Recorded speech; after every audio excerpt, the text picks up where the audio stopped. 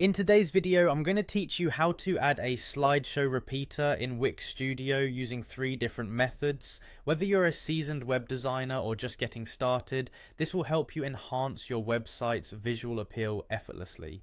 First, let's get you to the right place. Start by opening your web browser and heading to Wix Studio. It's the go-to platform for agencies and enterprises looking for robust website creation tools. Once you're there, you'll need to log in, Look towards the top right corner of your screen and click on Log In. If you're like many users who prefer a streamlined login process, you'll want to hit Continue with Google. This allows for a swift login experience using your Google credentials, getting you right where you need to be without any hassle. Now that you're logged in, it's time to start creating. Located in the dashboard, you'll want to find and click the plus icon. This is your gateway to all the exciting features Wix Studio has to offer. Look for the layout tools, they are essential for structuring your website effectively. Within this section you'll uncover the slideshow repeaters option.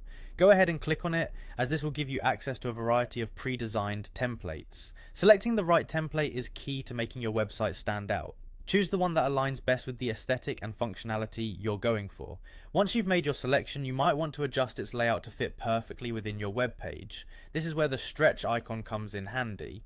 Clicking it allows you to manipulate the template size to ensure it aligns beautifully with your design vision.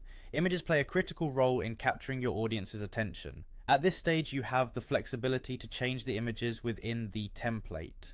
You can either select a free image from their library or, if you prefer something more personalized, upload your own media. This customization helps tailor your website to your brand's unique style. The text within your slideshow is just as important as the visuals. You can edit the text to articulate your message clearly and creatively. Whether it's a catchy headline or informative caption, Make sure it complements the overall design and purpose of your slideshow. Finally, take some time to experiment with different edits to the slideshow repeater. Adjust colors, fonts, sizes, well, whatever it takes to make it perfectly yours. The goal is to create an engaging and aesthetically pleasing element that enhances user experience and conveys your message effectively. And there you have it. With these steps, you can add a stunning slideshow repeater to your Wix Studio project, enriching your site's storytelling and visual dynamism. Thanks for watching and happy designing.